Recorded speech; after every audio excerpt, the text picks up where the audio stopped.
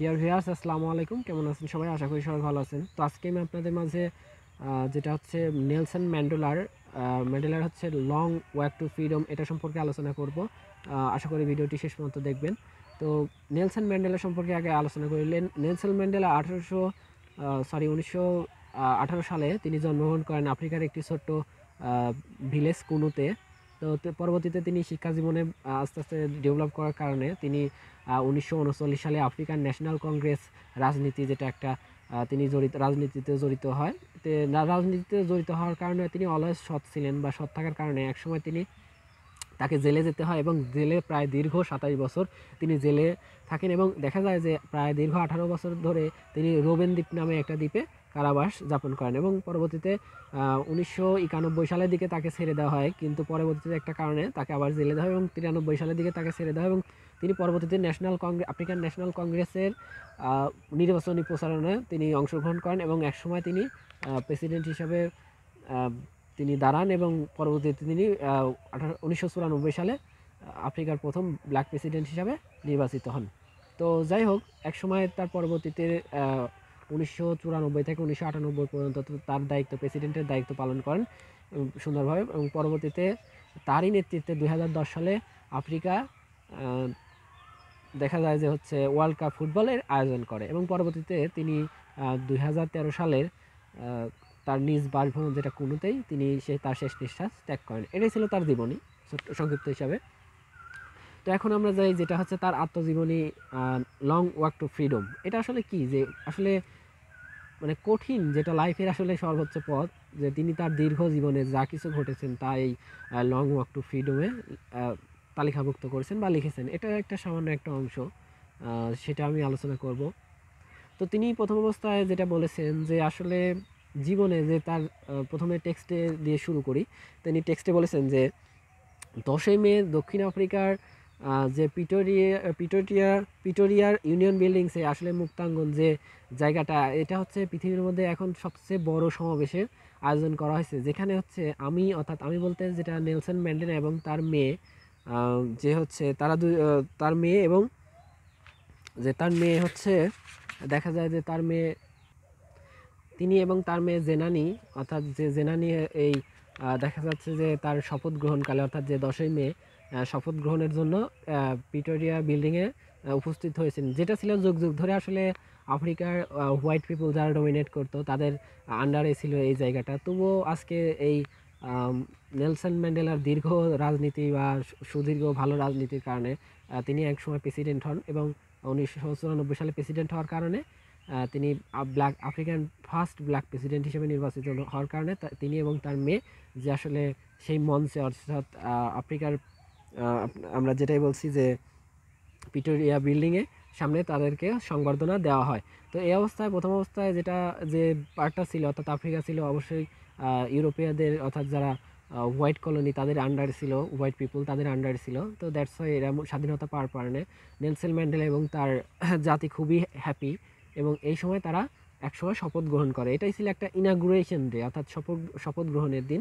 তো দেখা যায় যে সবাই তাদেরকে অ্যাপ্রিসিয়েট করতেছিল এবং সেও বিভিন্ন ধরনের বক্তব্য প্রদান করেন। তো প্রথম অবস্থায় দেখা যায় যে শপথ গ্রহণের প্রথম অবস্থায় উপরাষ্ট্রপতি ডি মিস্টার ডি ক্লার্ক অর্থাৎ তার বন্ধু, তিনি হচ্ছে উপরাষ্ট্রপতি হিসাবে শপথ গ্রহণ করেন এবং পরবর্তীতে তিনি রাষ্ট্রপতি হিসাবে, আফ্রিকার প্রথম রাষ্ট্রপতি হিসাবে, ব্ল্যাক রাষ্ট্রপতি বা প্রেসিডেন্ট হিসাবে তিনি শপথ গ্রহণ করেন এবং উদ্বোধনী বক্তব্য প্রদান করেন। তো প্রথম অবস্থায় যে এই বক্তব্য প্রদানের সময় দেখা যায় যে তিনি তার দেশের যে মানে কি কি ঘটেছিল সব কিছু বিস্তারিত আলোচনা করেন, সেটাই এখন আমরা বলব।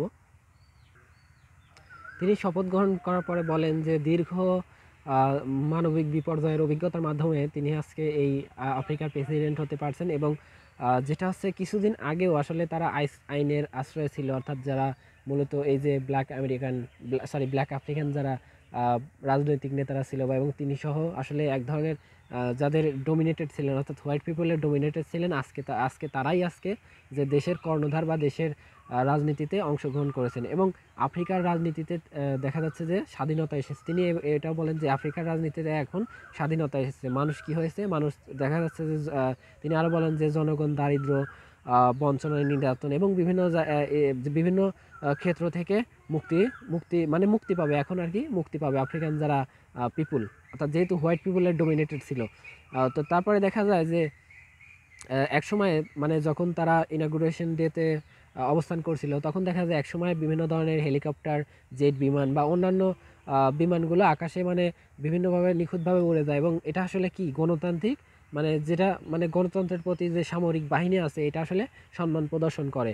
তো এছাড়াও দেখা যায় যে হচ্ছে প্রতিরক্ষা বাহিনী পুলিশ বাহিনী, তারপরে আর্মি যেগুলো বলে থাকি আমরা, এগুলো হচ্ছে কি করে সরকারের অর্থাৎ আফ্রিকান ব্ল্যাক প্রেসিডেন্ট নেলসন ম্যান্ডেলাকে রেসপেক্ট করে বা সম্মান প্রদর্শন করে চলে যায়। যা, এটা হচ্ছে আসলে আনুগত্য প্রদর্শন করে, সেটা চলে যায়। এবং অবশেষে দেখা যায় যে এম্পেরিয়া ইম্পালা জেট বিমান, অর্থাৎ এক ধরনের বিমান, ইম্পালা জেট বিমান, সেটা হচ্ছে আকাশে এক ধরনের ধূম্রজাল, অর্থাৎ যেটা রং, রঙের সিটা ছড়িয়ে যায় এবং যেটা আফ্রিকার পতাকার রঙের সিটা ছড়িয়ে যায় এবং এটাকে আসলে এক ধরনের স্বাধীনতাই বলা চলে যে আফ্রিকা এখন স্বাধীন হয়ে গেল। অর্থাৎ হোয়াইট পিপলের ডোমিনেট থেকে স্বাধীন হয়ে গেল। তো পরবর্তীতে এক সময় মানে এই নেলসন ম্যান্ডেলার ইনাগুরেশন ডে তার এই দিনে, অর্থাৎ উদ্বোধনী দিনে বা তার শপথ গ্রহণের দিনে দুইটা জাতীয় সংগীত গাওয়া হয়, যেটা আসলে নেলসন ম্যান্ডেলার মনে সারা জীবনই রয়ে যায়। তো এখন আসলে কি, এখন এটা তিনি তার নিজেই ব্যাকগ্রাউন্ডটা বলছেন যে দেখা যাচ্ছে যে একসময় এই আফ্রিকার পিপুলগুলা মানে জনগণগুলা যারা ইউরোপীয় ইউরোপীয় হোয়াইট পিপুলের ডোমিনেটেড মানে আফ্রিকার যারা ছিল শ্বেতাঙ্গ মানে তারা হচ্ছে কি করতো ডোমিনেট করতো। অর্থাৎ বিংশ শতাব্দীতে, অর্থাৎ যে টোয়েন্টিন সেঞ্চুরি প্রথম থেকে এ পর্যন্ত, অর্থাৎ টোয়েন্টিন সেঞ্চুরি শেষ পর্যন্ত ডোমিনেট করতো। তো এই ব্ল্যাক পিপল আফ্রিকান ব্ল্যাক পিপুলদের কোনো স্বাধীনতা দেওয়া হতো না। তারা এক ধরনের নির্যাতনে ছিল। তো তিনি আরও বলেন, এছাড়া যে এই যে বর্ণ বৈষম্য প্রথা, এটা আসলে চিরকাল ধরে থাকবে না। তিনি এটাও আশা করেছিলেন যে আসলে আমরা এটা সহজেই শেষ করতে পারব না। আস্তে আস্তে আমাদের এটা সমাধান করতে হবে। অর্থাৎ যে হোয়াইট পিপুলের ডোমিনেশন, এটা আস্তে আস্তে সমাধান করতে হবে। ম্যান্ডেলা আসলে নিজেও মনে করতেন যে এই সময় একটা বড় কোনো পরিবর্তন ঘটবে, যে পরিবর্তনটা আমাদের শান্তি বয়ে নিয়ে আসবে।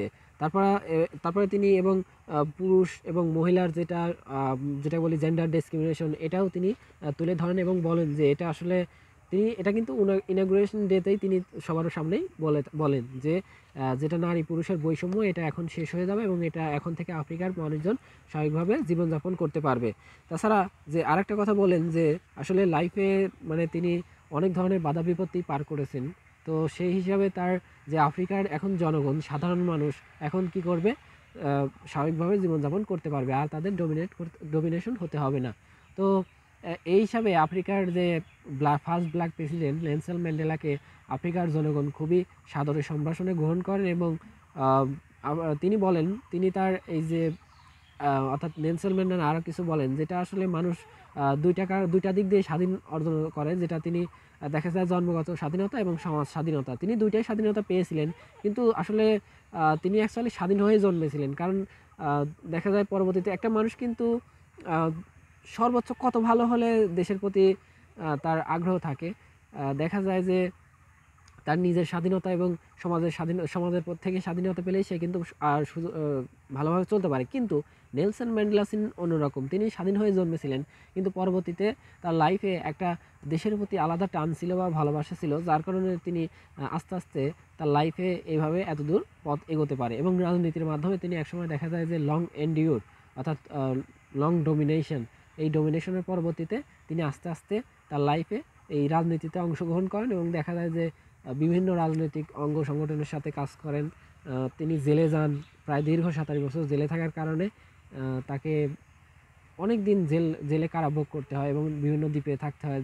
তো থাকার পরে অবশেষে উনিশশো চুরানব্বই সালে তিনি আফ্রিকার প্রথম ব্ল্যাক প্রেসিডেন্ট হিসাবে নির্বাচিত হন।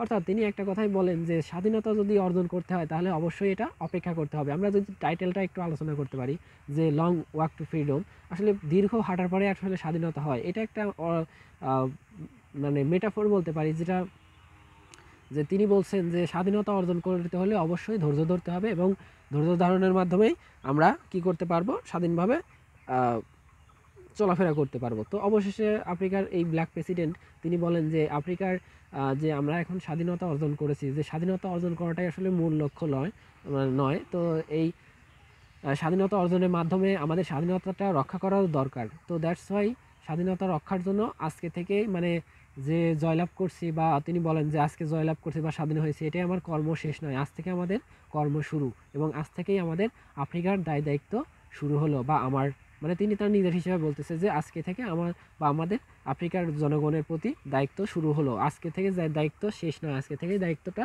শুরু।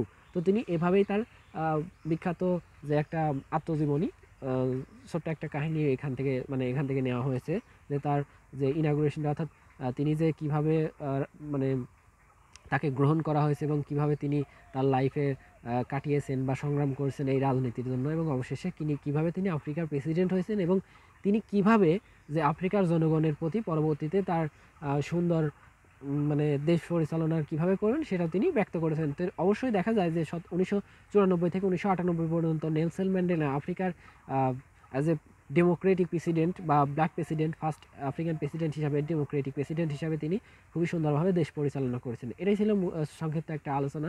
তো ডিয়ার ভিউয়ার্স যদি ভিডিওটি ভালো লেগে থাকে, অবশ্যই আপনারা লাইক কমেন্ট এবং সাবস্ক্রাইব করবেন এবং নতুন নতুন ভিডিও পাওয়ার জন্য অবশ্যই অবশ্যই সাবস্ক্রাইব করবেন।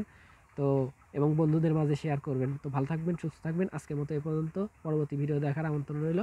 আল্লাহ হাফিজ।